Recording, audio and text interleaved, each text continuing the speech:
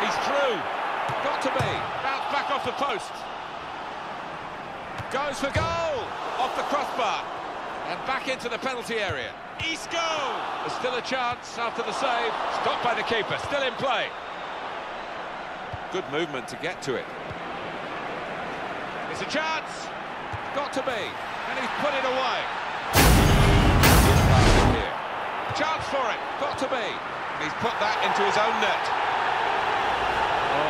Shocking moment for the player. Look at him, he's distraught. Another act. The free kick couldn't have been placed better, and the goalkeeper totally bamboozled by it.